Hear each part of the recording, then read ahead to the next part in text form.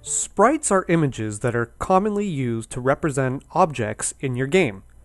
When you want to create a new sprite, you can either use the drop down resource menu and click on Create Sprite, which has the hotkey Shift Control S, or you can click on the little Pac Man piece on the main toolbar that says Create a Sprite. Or you can right click on the sprites folder in the resource tree and then select Create Sprite. This is my preferred method. Whichever method you choose for creating a new sprite, you'll always end up opening a new Sprite Properties window for your new sprite.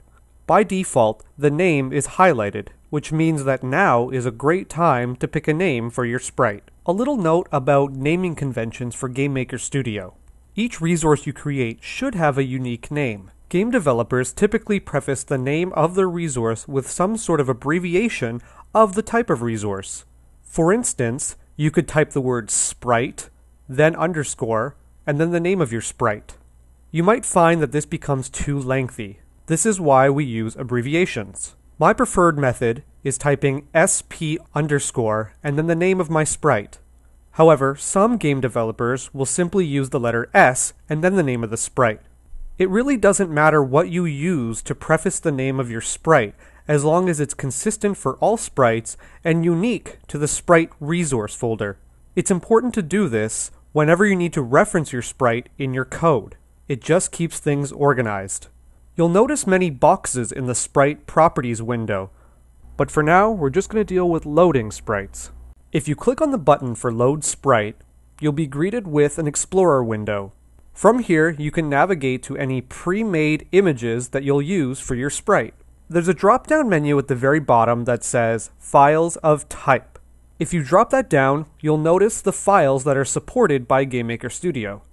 Currently, for version 1.2, GameMaker Studio supports GameMaker sprite files, bitmap images, GIF images, or GIF images if you prefer, JPEG images, and PNG images.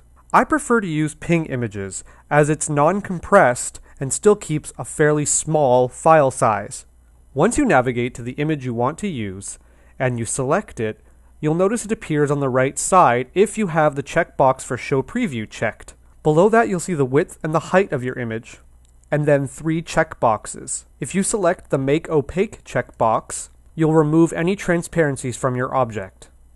Selecting Remove Background will remove the background from your object, and Smooth Edges will smooth the edges, giving your image a feathered effect you have the option to open a single image file, or if you select multiple files, you can open all of them at the same time. However, there are different methods for importing an entire animation. We'll go into that later.